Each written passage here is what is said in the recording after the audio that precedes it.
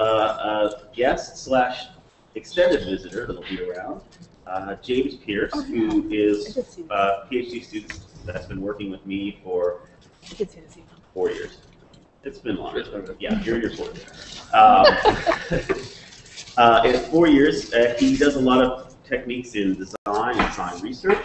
He's been looking at a number of things in uh, the areas of energy and materiality, and he has a lot of a very broad interests. And he, I, I asked him, I don't know what he's exactly going to talk about, but I sort of said, show some of the things that you've done and some of the directions you're headed. The main thing for folks here is that uh, James will be here for the rest of the semester, settling in. So you'll see him sitting and gluing and biking and all kinds of things. And um, it's a real pleasure to have him here. And hopefully you guys get to know him and have a little, um, not for the people that are remote because you're too far away, we're going to have a little uh, local gathering to welcome him here too. You'll have to get some mail about that next week. So with that, uh, Cool, thanks. I'll get Great. that. Are we having a mirror image here? I don't Is that know. by design? Who's, who's remote? Uh, no one is remote, but we're recording to YouTube. Thanks, thanks for having me. Um, I have kind of just put together some projects that I thought might be interesting. Showed you guys because you don't know me and I don't know you so well, so I figured sort of a survey of different topics would be the best approach to go with. And as usual, I'll end with some sort of things that are on the top of my mind, hopefully get some feedback on. Um, so I'm not sure how you normally run these sessions, but usually what I like to do is just interrupt at any time because conversation is usually kind of the preferred way to go. So if something doesn't make sense, if you don't agree with something, whatever, just, you know. Okay, so that's what I do. Um, most of the work I do has these sort of three strands. Sometimes one takes priority, sometimes another takes priority. Oftentimes it's two or more, so it's designing things, building, making things, making artifacts. Um, it's studying people, doing interviews, going to people's houses, talking to them about their things, so on. And then theory, so reading and writing using um, criticism, humanities, and philosophy. It kind of uses a lens to bring to bear on interpreting fieldwork and interpreting artifacts. So it- so start by talking about what I'm not going to talk about, um, which is some of the more kind of pure design ethnography work. Um, so a big part of this work is, is with domestic possessions, so things like um, product attachment. What sort of things do people really grow attached to in their homes, like cherished possessions and things like that. Um, or, or material reuse, so um, modes of consumption outside of traditional retail. So um, uh, dumpster diving, going out and looking for trash and stuff like that. Um, and then always sort of tying it back to newer digital interactive technology, and talking about how those things matter in the context of interaction. So I also do work that is more purely design theoretic, so divorced from any sort of empirical kind of work other than using examples. Um, so recent interest that, I, that I've had is this idea of, of undesign. So this is the Berkeley Center for Design. We design things, we design things. Um, but design, traditionally, is all about the creation of novel forms, right? And so definitely true, that's what design is about, but I think it sort of obscures the other part of design, which is that everything you make displaces, destroys something, right? So the fact that this screen is here and I'm giving a presentation on this screen, you know, precludes the possibility of us sitting around and looking at my face the entire time while we're sitting around and something like that. Um, and so I won't talk too much about this, but, but the idea is to sort of talk more explicitly about how we can design things affirmatively with technology that are actually, their intention is to negate things that we've already built or designed. Um, so an application area, two to really think about here would be environmental sustainability, um, which is one important one, um, and also sort of more moral concerns like busyness and overwork, right? So things like Twitter, and Facebook, and email, and those things are all great. We all love them in a lot of ways, but there might be ways to sort of talk about um, inhibiting or displacing some of those things intentionally through design technology. So just leave it in a super abstract level like that. Move on and talk about something a bit more concrete. Um, so I'm going to spend most of the time today talking about um, the energy work. So this work started with a pretty simple idea, which is that energy is invisible, electrical power is invisible, but it's also intangible, right? It's not something that we can literally feel and touch directly. Um, and so there's reasons to care about energy, right? Environmental sustainability and things like climate guess you have never been zapped before. Sorry. You've never truly been zapped by 220 volts.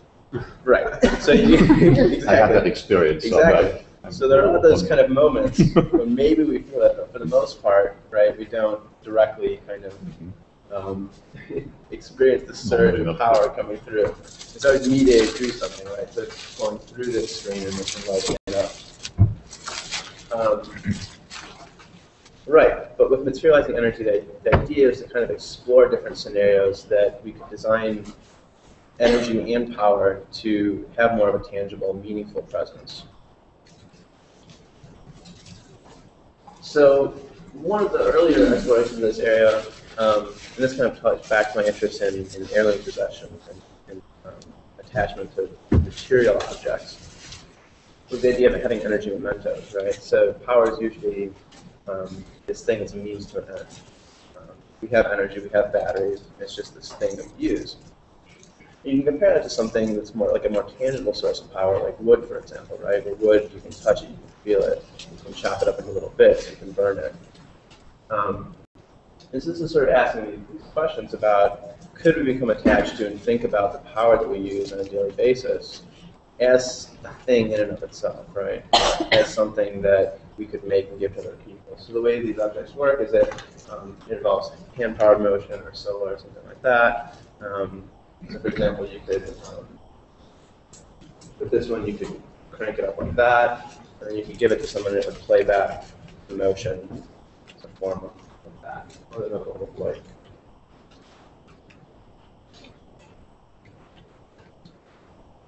And so this is a quote um, from doing some interviews around these objects where people sort of, you know, it's sort of a loaded scenario, but just the idea that there is something I think there about this idea that um, can materialize energy. We can make this intangible thing something that's more concrete, something that you might become attached to. So later on, I'll talk about more sort of relevant areas to think about is wind and solar power. So right now, most of energy comes in through an outlet and sort of this anonymous source. But if we think about generating power from renewable resources, then something like emotional attachment to energy becomes a bit more easy, I think, to wrap our, our hands and minds around. Okay, so kind of scaling up a little bit, going from small little pieces of energy to more meaningful kind of uses of it. Um, so this was a project, uh, was looking at interactive microgeneration. So looking at basically products, kind of tangible products that we use that are hand powered to various degrees. Um, so this is one example um, from that study. Um, the study actually involved two parts. The first part was looking at, at actual just traditional hand-powered objects, so like a handsaw or a mortar and pestle, and doing some interviews with people to just gauge what was desirable, undesirable about things that were manually powered. And then introducing some new artifacts as probes. So this is an example um, of an iPod that would have different icons depending on the sort of the flavor of the source of the energy. Um, so sort of the idea here that's interesting to think about is if products like this came with something right out of the box where it already kind of made its source of energy you in some regard, right? So if the power coming into our outlets was tagged with some sort of energy metadata, then we went to go charge our iPhone, it could show us the different sources of power that we were using. Or if our home was creating energy, it goes from wind to solar power, and also channels these sources so we'll be able to see where it's coming from.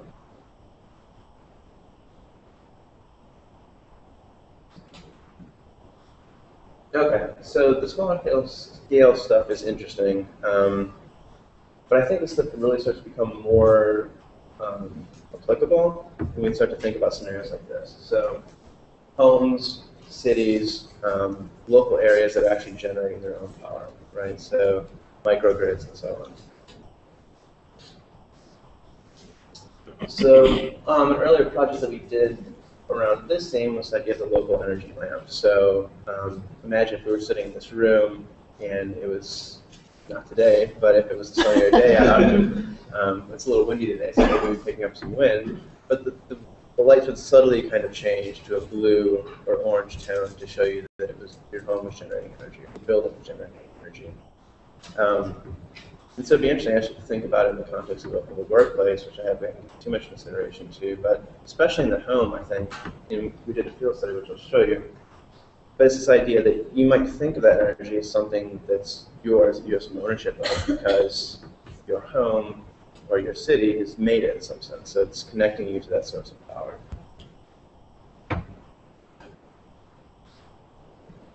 Uh, right. So this project was taking that idea a little bit further.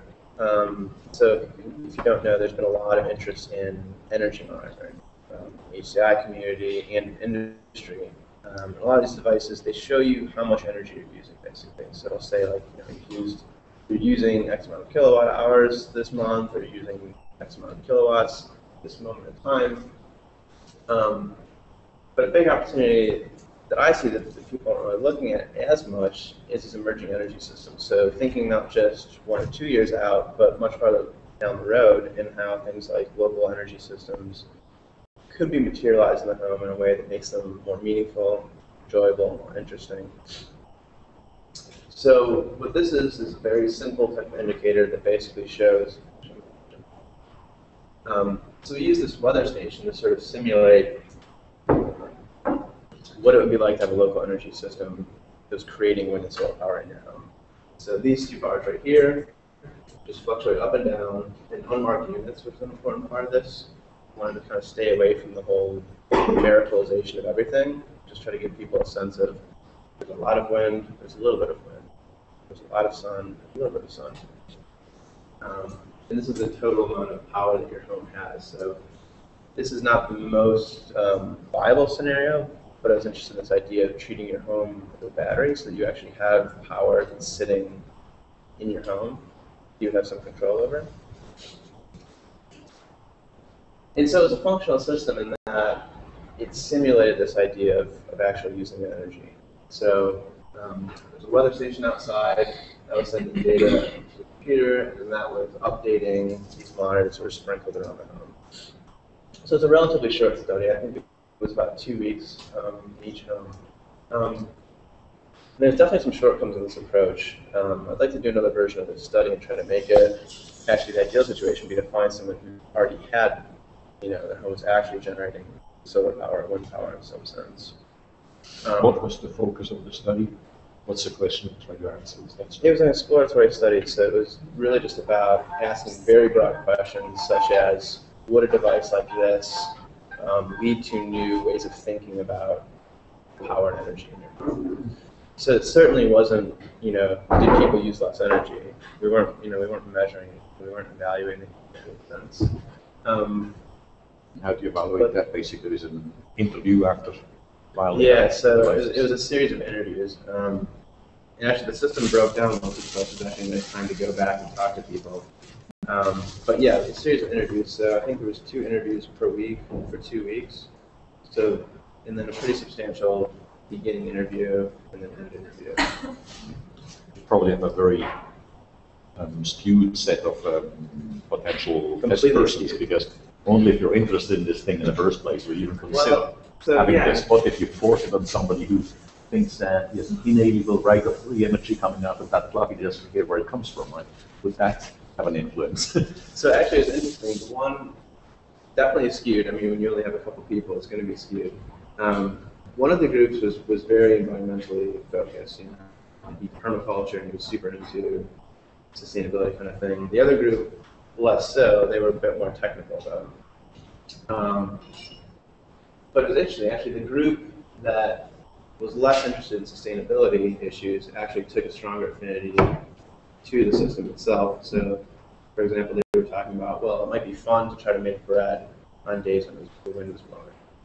This idea that we kind of have these celebratory situations just because there was a surplus of energy which is kind of a neat idea. Um, and to that, I'll say that I see a big point of doing this kind of work is not so much for the evaluation. I mean, it could you could use this as an evaluation type of program, um, but more so to kind of get those pieces of design inspiration to see which directions, which sort of future paths could be worth pursuing, right? Um, this idea of building a type of system like this in the future, something infrastructural in the home, it did kind of lead to these celebratory, mundane sort of celebratory instances where you think about pushing solar power.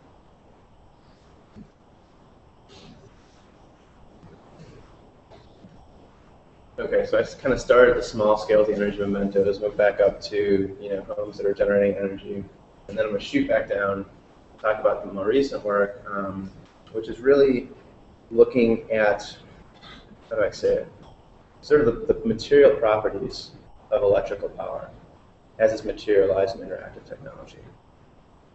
So this was a recent recent CHI paper. Um, we use form studies, um, sort of examples of to develop a theoretical understanding of what electrical power and electric technology is. Um, and so this is a set of examples around hand-generated power, with the idea being to sort of say, um, hand generation is, something that's very distinct from um, the, the ordinary electric technology that we have all around us, right? So what type of temporal and spatial forms are even possible electrically with something that you generate by hand, right? Something like dropping a weight to illuminate something, or cranking something up to illuminate it.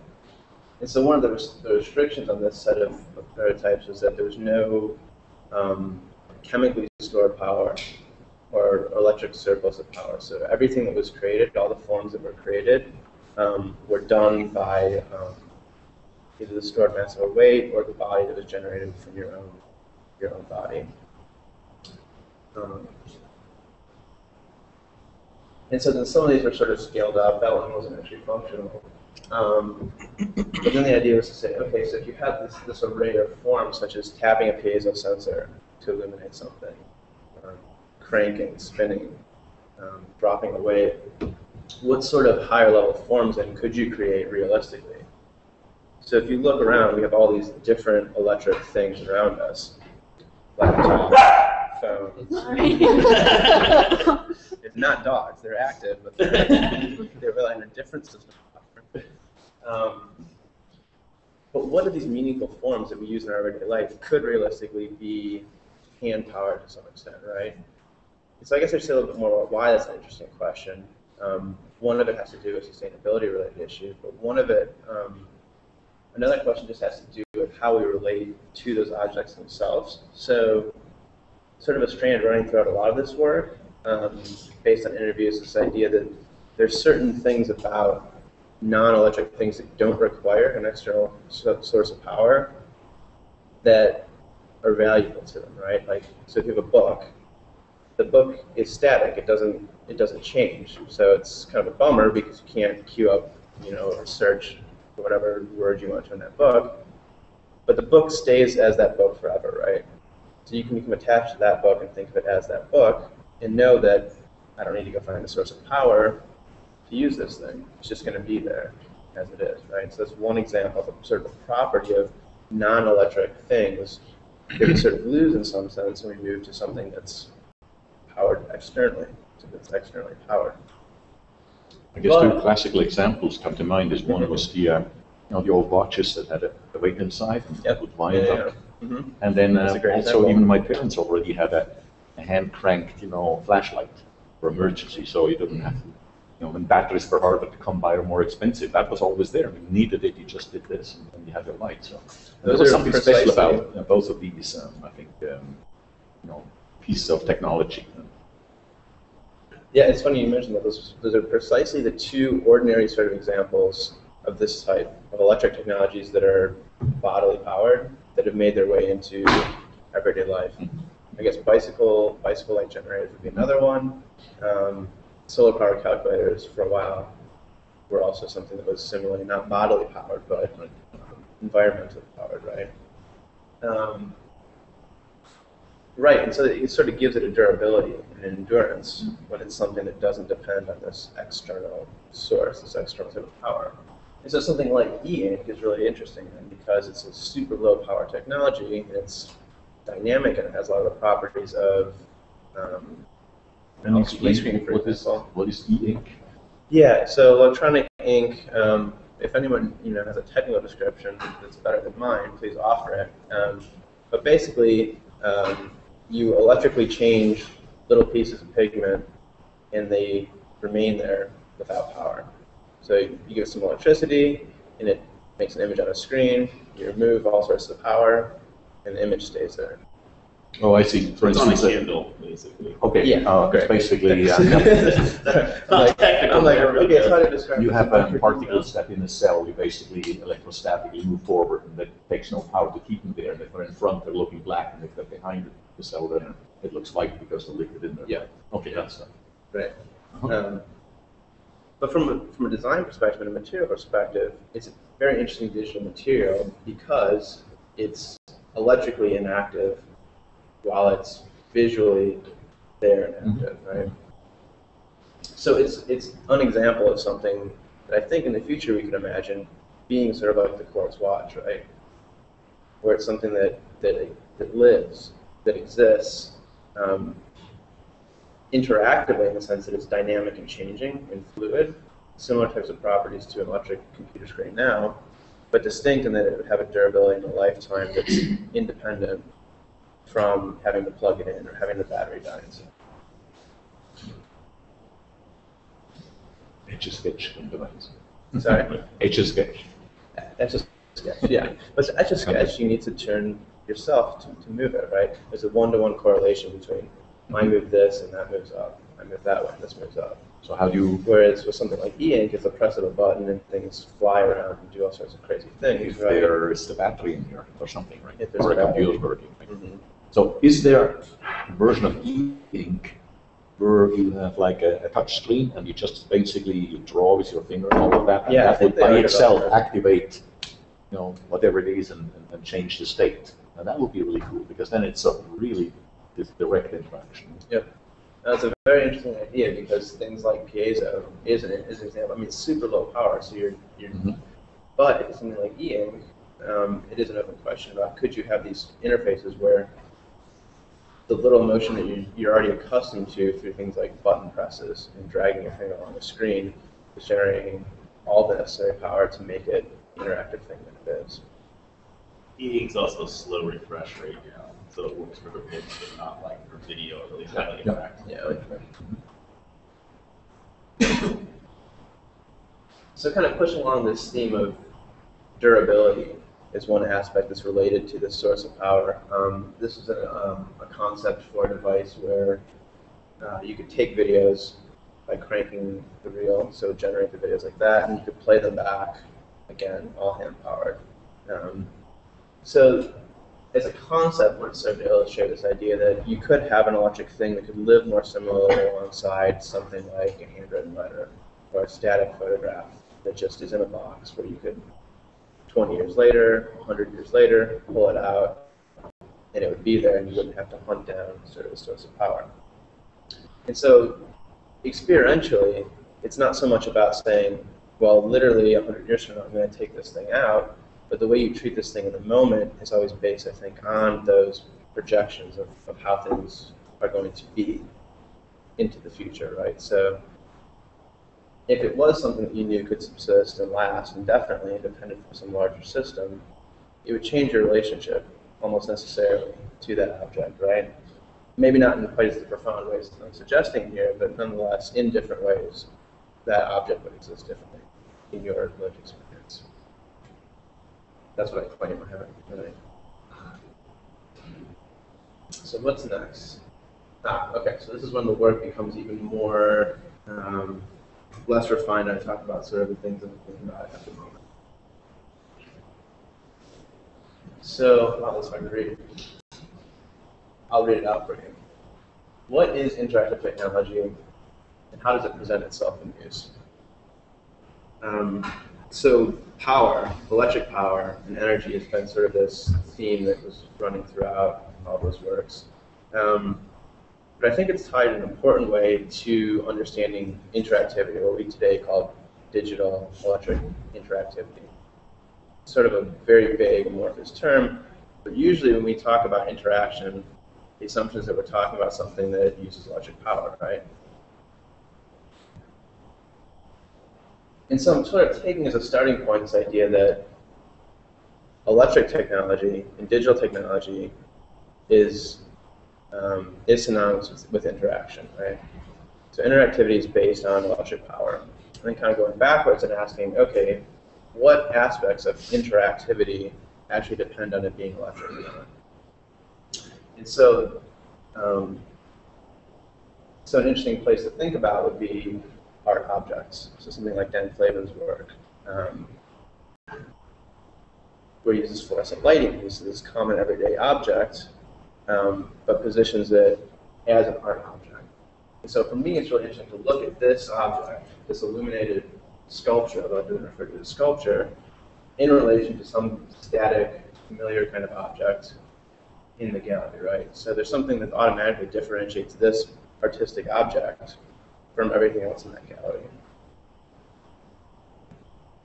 And we can think similarly about things that are more commonplace, like digital photo frames, where automatically those things become distinct from something like static picture in a frame. Or Can I, there's can I a- challenge your Kindle. your notion of interactivity? Um, sh- sure. It's not a good moment. Did I, did I I- make a strong claim about it so? Okay. Um, I'm not sure that power is the first thing that comes to mind. For me, what interactivity entails is if you have some way at the higher level to interact with something and influence it. It could be an entirely mechanical gadget, it could be a sculpture made out of goosenecks, and you're allowed to actually touch it and bending around. You know, that would be interactive. Yeah, Um, Etch a Sketch, Etch a Sketch is a good example too, right? You, you proposed the Etch a Sketch earlier, right? Is the Etch a Sketch interactive? That's definitely interactive, yes. uh-huh. Or, you know, consider Etch a movable, movable sculptures where the, the public is invited to actually go and move it around. So a copy. Or, um. You should talk to Jimmy Andrews at some point. He is a PhD student of mine. And we're creating this user-guided inverse 3D modeling, you know, where we, we, we take something that has no structure, maybe just a point cloud, and try with just a little bit high-level interaction and guidance, extract a parameterized description that then easily can be used to design a new thing out of that. And the interactive part is not so much that you have, you know, low-level notions of moving individual points around, but that you can give direction. Says, treat this part of the object as a sweep. Treat this part as a rotational sweep. Treat this part as a quadric surface. So there's a few high-level inputs. You achieve a major change in how the system behaves. And I think when I, when I look at good interactivity, that's kind of the thing. You, you give some high-level commands, you make a few things, and you have a dramatic input of what the system does or how it behaves or how it looks afterwards. I, I, I totally agree. I, yeah. I, I- I have to be on the side of the folks because I think, you know, interaction, uh, there's a a certain in- in- uh, intuitive mechanical aspects to it, and there are plenty of non-electrical, you know, musical instruments, toys. There's lots of things, and actually the interaction is more natural in a lot of ways because they're relatively, they're, they're mechanical, physical things which people can intuit pretty easily. But with electrical things, there's a this gulf, right? This gulf between physical stuff and the bits inside that actually make it hard to interact typically. You know, we, we engineer them to sort of fake metaphors and stuff that we don't, but actually I think the kind of interactive is, you know, plus the things that don't interact like your lights and stuff. But, but we actually work, work hard to make the interaction work because I think it's not natural. Somehow that, Yeah. you know, that, that, that golf needs to be there, right? Because it's what we're fighting in human Absolutely. So Absolutely. yeah, you know, I mean, I think there's an interesting point there. The, the richest interactive things are electronic and digital, but it's not like they're naturally so. So I'm actually essentially in agreement with everything that's been said. So I think I'm in, I'm in the same boat as you, but I'm curious. So how many people here do interactive, work with interactive technology? Yeah, everyone, right. How many people work with mechanical systems, purely mechanical systems? Green building or just like, play- As part of your research, you do interactive type of research. If you ride a bicycle, is that interactive? Not much uh, engineering. So You're saying research things. it, it, I'm not sure. I think, you know, we could define it in different ways. Um, But I think there's definitely something about electronic technology, which is that it has this, these three distinct forms, ordinary electric technologies, where there's an object, there's something stable that persists, right, that we think of as inactive. So when I turn my laptop off, the laptop is there, right? Then there's this electric, this active materiality that comes on. There's the sounds that come out of the speakers. There's the imagery that dances around on the screen, right? There's the, the buttons that I hit to control that. And then there's something else that presences itself, which is the source of power, right? So based on the way that this thing operates, there's times when we've all run out of battery and you simply cannot activate this thing any longer. There, the laptop is still there, but that activeness is gone. You can't bring it back until we connect it to something else. So something like a bicycle,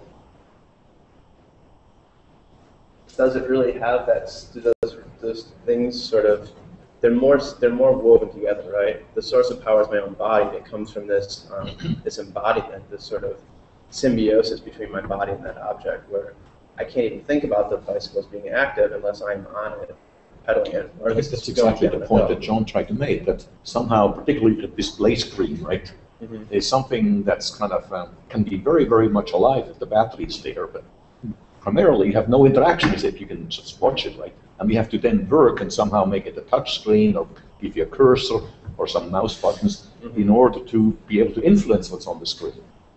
Whereas with mechanical parts, you know, basically either you touch them and do something with them or you don't, right? It's not this gulf that, uh, as John describes, it has to be overcome with some extra user interface design or something to make it interactive.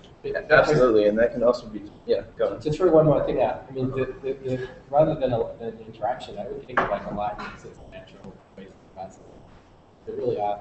I mean, anything electrical, including my house, I mean, house is off power, it's like, it feels like it's dead. Cold, you know, I think, just like material, dead material. when you put the electricity in, it's sort of alive. And, and, and things that are electrically powered typically have some aliveness to them when they're powered. Or, you know, when you shut it down, it's either dead from sleep. I think the aliveness seems to be, which can incorporate interaction, but it can also just do its own thing. The TV pretty much can turn it on and off and maybe do a little bit. but It's not interactive, so, but it's alive in a sense. It's sort of, it's got this complex behavior that you may be able to influence. And often, you know, the other thing is interaction is really narrow. It's on the terms of the machine. That's why I'm a little bit uncomfortable. You know, it's alive, but it's not very, not very flexible or sophisticated the way perhaps the real life thing is. Right. So sort of certainly experientially, Yeah. techno- all technical things, active or otherwise, are different from even that dog, right? Because a dog has its own liveness to it. Yeah, but That's not under our control, right? It's not that- something that we. Yeah. So, I think there's an interesting relationship between, in, you know, the power and the pace of interaction. You know, what what uh, Eric alluded to in terms of the refresh rate with the Kindle is just one example, right? If you have power, you can just take the pace of interaction to something that might be perceived as unnatural, right? That, as opposed to a pace that is constrained by physics. pace, yeah. If, I think if by pace you're talking about sort of speed and instantaneity and things like that, then definitely. Because, actually, let me just get back to this right here. So I think there's three sort of aspects that sort of emerge as interactivity when we talk about electrical things. So one is this, exactly like you said, there's an activeness to it, right? And electrical things, non-electrical things can be active too, right? People are active, dogs are active, um, something blowing in the wind becomes active. But with electrical things, um, and some mechanically powered things as well, but especially with reliable, a reliable source of electrical things, is there's a staying of this activeness, right? That projection is just, it's staying up there. I can make it stay up there, and it's doing its own thing. It's being active. And actually, in that case, its activity is defined by the fact that as soon as I remove power from it, it disappears, right? Different from something like an etch a sketch, where once it's there, it's, it's sort of there. But I know that it's not something that's mutable in that sense. The other is this, this otherness to that activity. So when I make that stay there, I can walk away from it. And it, we don't think of it as an other thing, but it's, it's doing its own thing independent of me. Different from a bicycle, for example, right? When I set the bicycle down, the bicycle is just staying there doing its own thing, but it's inactive. Whereas if you have a motorized vehicle, we, we know that that thing can have an otherness to it. I mean, until the battery runs out, you walk away, this just stays there, just like the bicycle, it doesn't change, it will be there. And So I'm not quite seeing the difference here. Mhm. So, well, it could be something dynamic, right? It could be a movie. In that case, it's certainly moving, right? In the case of illumination or an image graphic that's static, its activeness, I would argue, is defined by um, what it's not. It, we understand its activeness in relation to what would normally not be there, which would be darkness or the absence of an image. So we, we tend to think of light as being active because we're used to darkness as being the state of inactivity. Yeah, I think there's a psychological grounding in in that. Um, Yeah.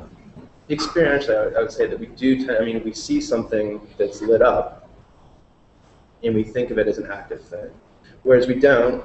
We could. We could try to constitute this cup as something that's actively, um, you know, molecules that are actively bound together that are making it support itself like that.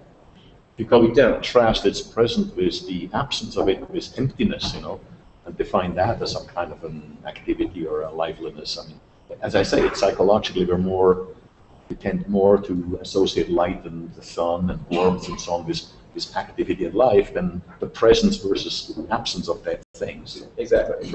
And I should have probably made it more clear that the spectrum coming from does take sort of a psychological, phenomenological approach to saying mm-hmm. we can define things however we want, but it's sort of a naive sense when I walk down the street and look around and you ask me to point to the things that are active, that are enlivened, I would point to person walking, you know, the dog barking, the street lamp that's on, possibly the sun, right? I wouldn't point to the cup that's sitting there unless someone was moving it around or something. So, so all these notions of interactivity I'm talking about are based on this sort of naive understanding how we go about our, our everyday sort of pre-scientific understandings of what makes it effective. Um, I already covered this. Example. Um, so, for example, something like, let's go back to the art world for a moment. Um, I'd argue with something like Dan Flavin's work, what's interesting about it is that it sort of presents itself as this object, this sculpture, but really we always know that it's different, at least in one sense, and that is that it goes off at some point, right?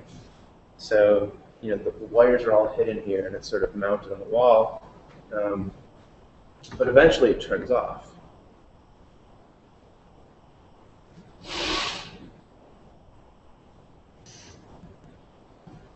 And so it's sort of suggesting itself as this lasting object, um, but really it's not. Really, this is activity to it that's dependent on some other sort of source of power that's making it what it is.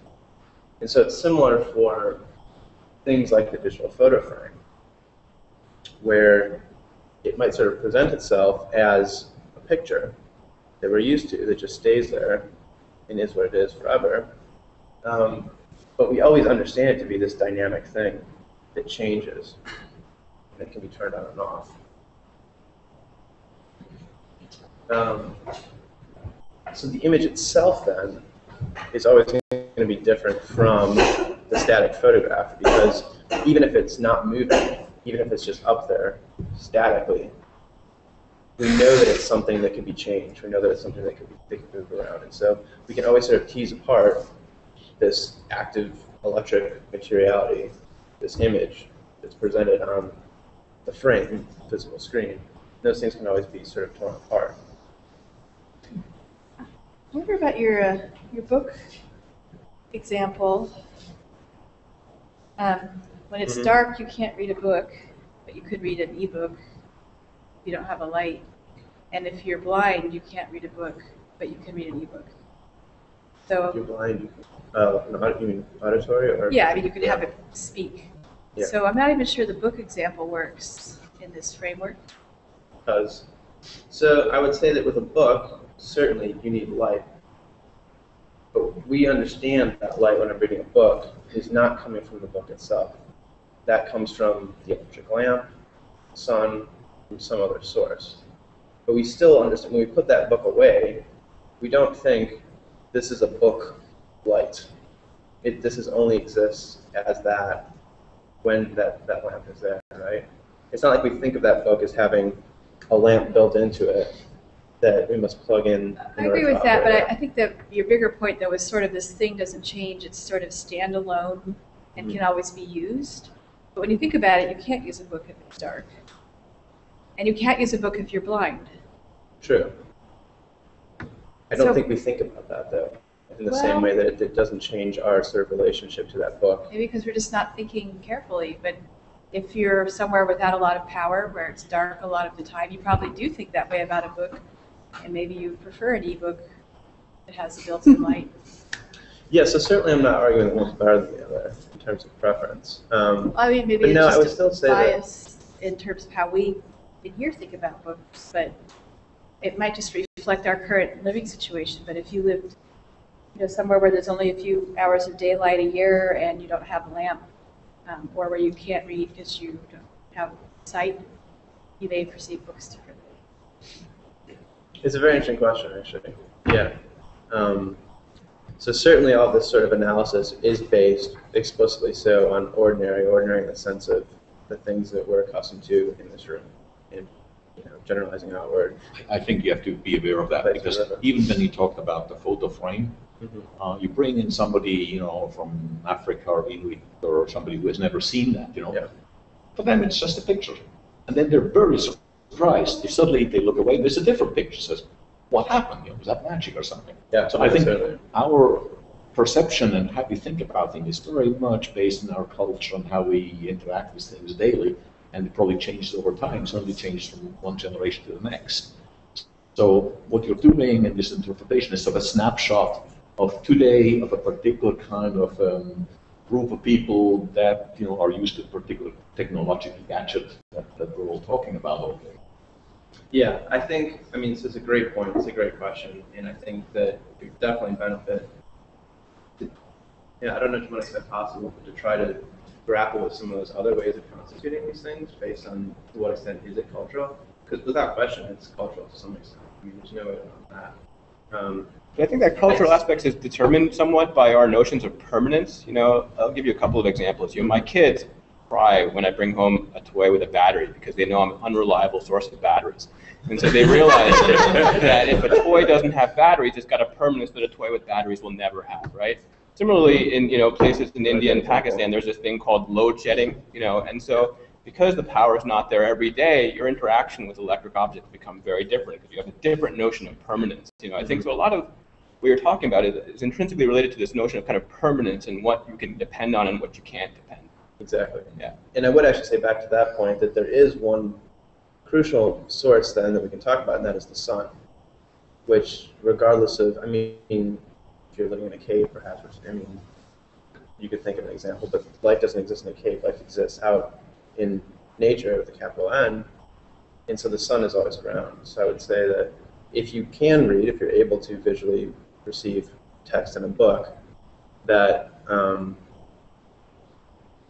some of the things I was saying about a book always being there, accessible, would hold true across cultures. That would be my guess, just based on the notion that the sun is a source of light for seeing, is something that we, as people, I would guess, always understand. We Even always with the book, I have a problem. I have some Yeah, most 30-year-old photo in the albums. Sunlight and at night they could read, but they had And- no candle. So, If I look into his photo albums, those photos don't look anything like what they looked 30 years ago. no, Some they- of them they- were a bad batch, you know, and, and, Mhm. and all the hues are gone except the blue, and it's like blue and white, what used to be color photographs. So very clearly, I've become aware this is not permanent at all. Right? Mhm. Um, Still, it's a world. It's it's still very distinct from the abrupt, instantaneous Yeah, appearance and disappearance. Right. just permanence again, has But to no, that's, scale I mean, to you're it, you know. absolutely right. That, and we do, we do think of, I mean, we don't think of, so I'm certainly not saying we think of, you know, paper is lasting forever, because we don't. We understand that the ages of a time, and, you know, we write, we sometimes think, you know, will this last? Is this acid-free paper? I mean, You know, precious so certainly on I'm not- floppy you know. disks. There's Where a you lot of plug them in, you know, what do you do with them, right? The font's too small for a lot of people. It's often, some people are not where they can get access to light because they're in detention and they don't have the sun. I mean, there's, I just think there's a lot of assumptions built into, I mean, I have that intuition about books too, but that's just, you know, I am bringing, um, and the thing about the batteries is a good point, but I, it's another form of technology, just like the things with electricity, and I'm not sure it- that example really works. Well, so I agree that it's all technology, and in some sense, we don't need to. There's really no. I mean, so I'm actually a very big proponent of saying that there's a lot of value in not treating, not starting and saying, "Oh, this is electronic. This isn't." Automatically, there's going to be a huge, you know, difference. Or I can't read the book without my glasses, but I could read an Exactly. ebook without my It's always- glasses it's always because I can hear the audio. I put it on the audio version if Mhm. my glasses were misplaced. So I, I think there really are a lot of assumptions to that. Mm, assumptions, assumptions I don't know about because what I would argue is that things that are electric experientially are different. They're distinct. Yes, I won't disagree with that. And so I guess what I'm trying to do is tease out what some of those differences are so that we can have some understanding of how it's different from the things that aren't. And um, how do I say it? So it's like the whole time I'm sort of, you know, trying to actually break down that electricity or interactivity has anything to differentiate itself, right? So looking for examples of things where, oh, it's actually not about that because some other traditional type of technology exhibits the very almost the identical kind of properties or essential characteristics. I think I just had issues with how you were characterizing physical books, not Mm-hmm. so much how you were characterizing electrical. I, I think, I think it's fair. I probably we should. But I think, you know, I think, you know, you're looking for sort of a pre-reflective realism that's shared by most people, which is fine. But I mean, I I think it has to be relative. It has to be sort of culturally situated anyway. Culturally and, you know, um, differently able people are going to have different senses of that reality. Obviously, one Sure. a completely different sense of the world, so I don't think you can claim, well, there might be some similarity between some of these things, but I think it's better just to say, yeah, we'll just take a certain cultural locality and Right. this Yeah, yeah. Because honestly, I mean, otherwise, if, if you try to do more than that, it's not very realistic. I mean, to claim that there are sort of somehow cognitive universals that are not culturally similar. No, no, no. Yeah, yeah. No, definitely not. even at, you know, pre-attentively or Mhm. pre-reflectively, it's kind of true.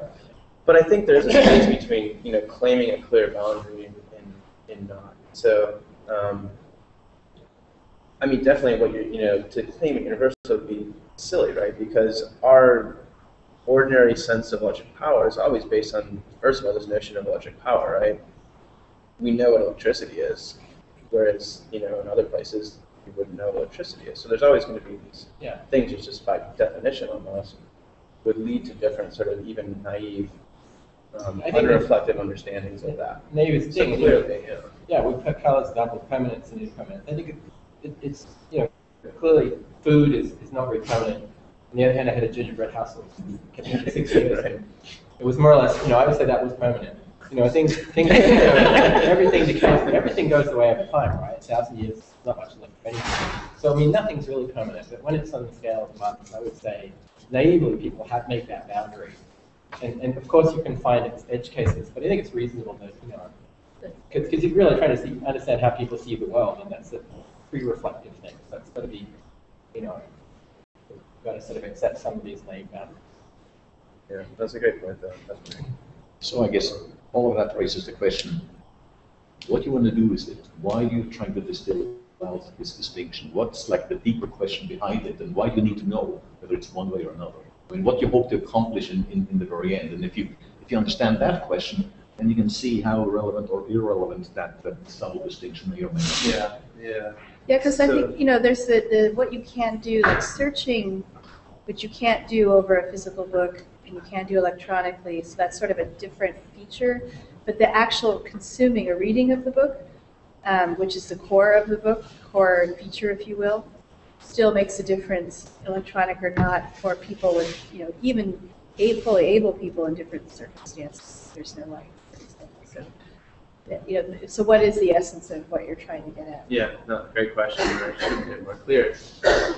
One, one important question is to understand what is the, I'm putting big quotes, essential um, possibilities and limitations of material that we think of as knowledgeable expert practitioners as interactive digital material. So as a designer who crafts interactive material, computation, electric things, what can and can't we do with it in maybe an app sort of a, I mean, I'm, I'm cautious of using those words, but in a more general sense, right? So there's been a lot of interest in, in CHI, for example, um, actually in all areas of design, was trying to take some of these, you know, properties of older technologies and put them into new technologies, which is great, which is wonderful. We should definitely be doing that. Um, but with something like ebook, are there limitations? What are, are there sort of design limitations on the extent to which that ebook can be like what we know as a paper-bound book? Well, that's an engineering question. That's very different than the set of questions you've raised here, you know? There is an engineering question there, sure, but I'm looking at it from, I'm, I'm, I'm taking that as, as fact. The engineering question is, is been built, the technology is there. From the perspective of use, from the perspective of me interacting with these things on a daily, meaningful basis, what differences, what sort of differences would would not always present themselves between those two In most cases, I think, as Marty pointed out, there are half a dozen advantages, say, of an ebook over an ordinary book that you can readily point out. Mhm. And normally, this new technology actually gives you many more possibilities, capabilities, if you're not naive enough or stupid enough to deliberately squash some of them, right? And so it's it's a good question to see: Have we lost something if we went from the old-fashioned to the new system? Exactly. What is it we may have lost? And then it's an engineer question: How do we bring it back? See, but that's where I would just start to push back and disagree because I would say that that's a common mindset is to say, well, you can actually do everything you can do with the digital stuff with something, sorry, with the traditional thing, you can you can always have that with the interactive thing.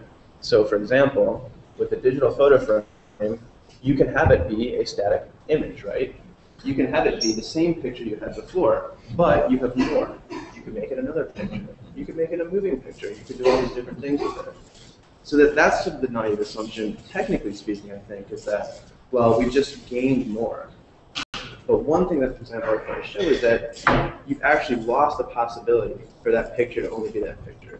You've lost the possibility to walk into your room and say, this is that picture of that time when I was sitting with my friends having dinner, and that's what it is, and I'm experiencing it as such. This isn't, I'm not talking about like you explicitly say that. I'm saying that that picture would be there as that picture, something you have to literally take off the wall and put something else back up there for it to be different. That's gone when it becomes something that's electronic. Whether that's a bad thing or a good thing, I'll set that question aside, that particular example. What I was just that challenging your iPhone could never be just a phone. Because your iPhone is a million things in one, you can't actually have the experience any longer of simply calling someone and knowing that we're just going to talk. We're not going to get a text message while we're talking, right? So those are the types of examples, I think, that this kind of way of looking at those things can help serve as. I was challenging kind of the, as- I, at first I was buying the, oh yeah, the book is twenty-four seven a book, and then I realized actually it's not. Because if you don't have light, you can't actually read it as a book, and it's sort of an assumption that you can always. Then I started thinking about, it really isn't, we just assume you have, always have access to light and to a situation, and quiet in a situation where you can read the book, which certainly isn't true for a lot of people. So it really isn't twenty-four seven a for all. That's why I was, that's just kind of the lines you got me thinking on. Just like the picture frame, yeah, it's not always that picture. The book really isn't always a book for a lot of people, unless you're very privileged. I mean, related. I mean, I buy your book story, and I think, but it's related to different things than power. I think. I mean, the permanence agency, I think, is also No, important. Just is. with the batteries, you know, again, agency is is. really important. If I feel like I'm in control of making this Mhm. book always a book, then then I feel like it has a more of a durability, as you call it, right? Agency is also If you have no power and no light, you But- can't read I them. mean- So you're gonna, you're actually over time. Yeah. So I don't know, people are gonna, I- I I don't know if you wanna kind of, take a couple more minutes and just kind of bring us to some, uh, closure. Uh, It's a great discussion. No, this is- have of this is good feedback. wonderful. I don't wanna cut that off, but people are Um, gonna, I don't know. Let's see. Oh, yeah. This is more or less stuff that you're thinking about now, instead of like, because I thought, otherwise you should tell us like what you're thinking about next. Yeah, no, it's uh, I mean, it's it's along these lines, I guess. I don't know if I'm sure, but basically building some, trying to explore some of these things more tangible, building out kind of um, things that exactly the kind of things that you were talking about. These, you know, limitations of, of devices. So things like, you know, is it still interactive if we can't actually see the images that are there, right? We, you know, they're there in the atoms, you know, that have been actually manipulated. Um, I mean, what I'm a little worried is that a lot of these things are very, very interesting if, if your degrees in philosophy. You know, and Shastras or somebody like that would have a, you know, you could work with him all night and discuss those things. yeah. But I, I think your degree wants to be in HCI or something like that, so you have to come down. down It's- to something it's- a little interdisciplinary. bit You can do more whatever you want. tangible, You know, some, some questions that in the end, you know, may really make a difference in, in the way you design something, rather than just a philosophical background, how you think about it. No, I appreciate, I Try to distill out what the questions might lurk around all of these philosophical questions that really are then worth exploring. If this had been a pilot presentation, I would have begun with some work on that, but. Well, But no, I mean, that's, I mean, definitely you're right, that's the this end is goal. I not think, supposed I think there's an idea there, but I, I just suddenly realized that really you can't use a book unless you have energy from the outside. That's why, that's why I was. Wait, kind of- How about the braille book? Marty's worried about. Yeah, that's why, no, I mean, I realized that really you need power in either case. Or how about a blanket? So then, uh, I I will yeah. bring it back to the sun again, and I think that a lot of this does come back to our understandings, which are culturally mediated, of course, but of what is natural and what is sort of a baseline. So um, even something, for example, like something mechanical, we literally couldn't create that thing without electronic means of production in many cases, but we still experientially understand something like this to be more akin to looking outside and seeing these natural forms, which is different from I feel something you have more control actually. over something where you can crank it than light, unless you're Harry Potter and you have like the wand or something, you know, you can't make light I mean, or natural. The goal of this kind of work is to raise questions. You just want to raise the right kinds of questions. It sounds These like appear I've not to be the right. I kinds think of I've- questions.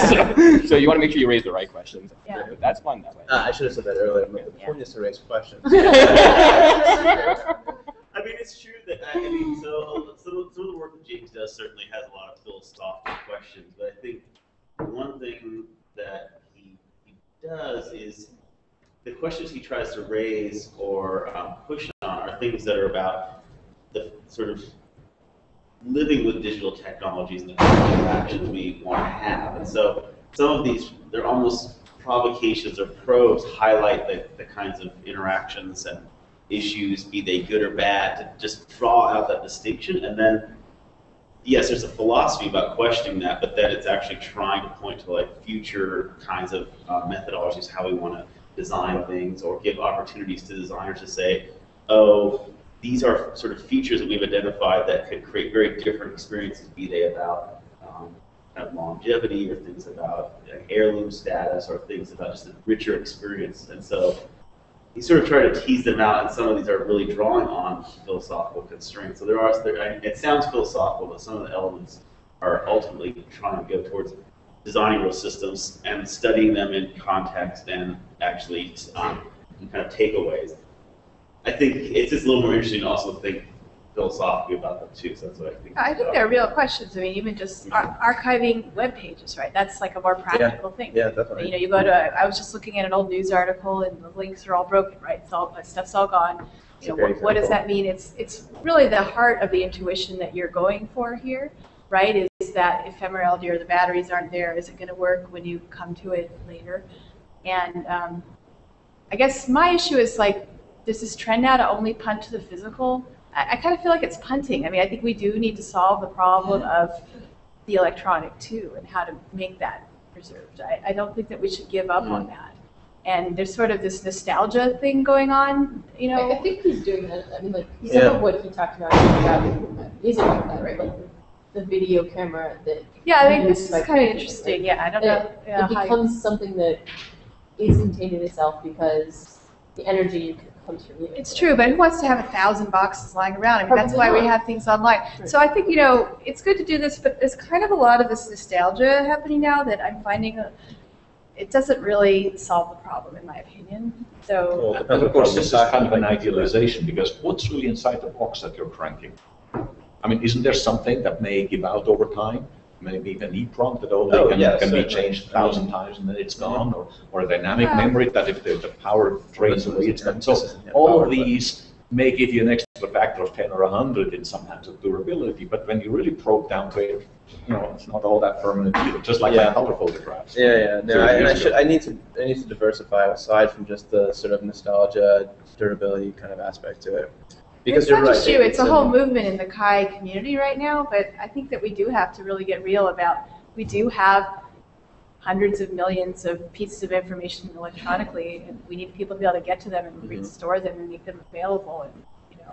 There is a material basis to all that, though, which I guess I would say is unavoidable, right? I mean, there's servers First few decades and there are computer cases, and so And we don't have a good solution right now. I don't think it's a good solution at all, so, yeah. I mean, I have tapes that from Bell Labs, I mean, with the book of on CCDs.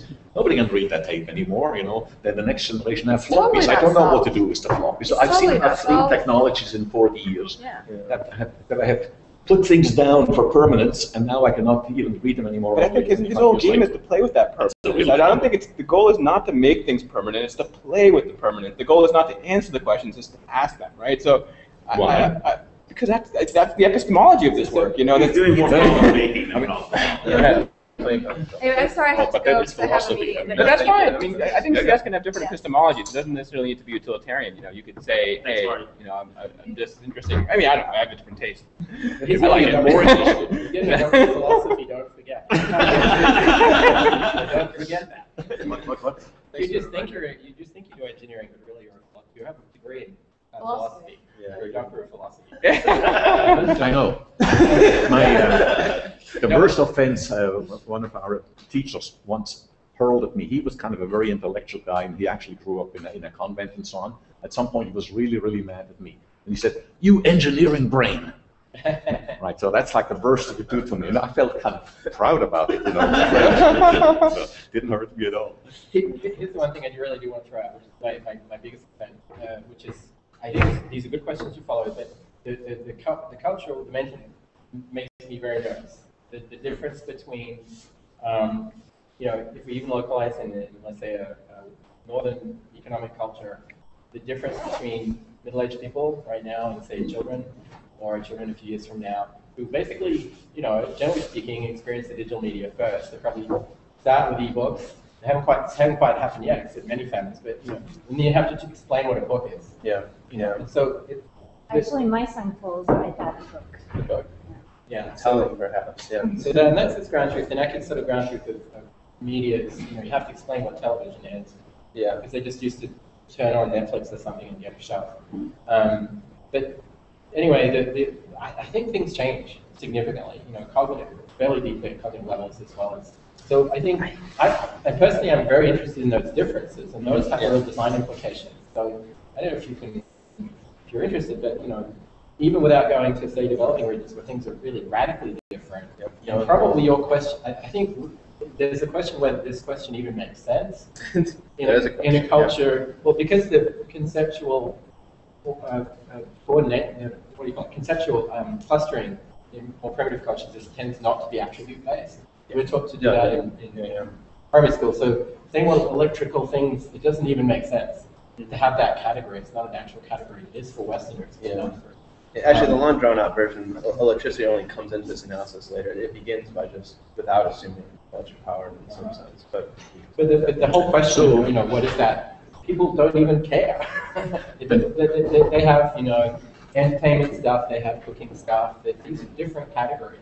Whether they're electrical or not, they don't, that question doesn't enter the way it does. Or think 20, 30 years ahead. But- And now but- everything Yeah, yeah, is but- based on living tissue, I you don't- know, and there's don't know that for sure, electroluminescence and stuff like that, and no real currents and battery, and But everything's kind of between that, sorry. living material.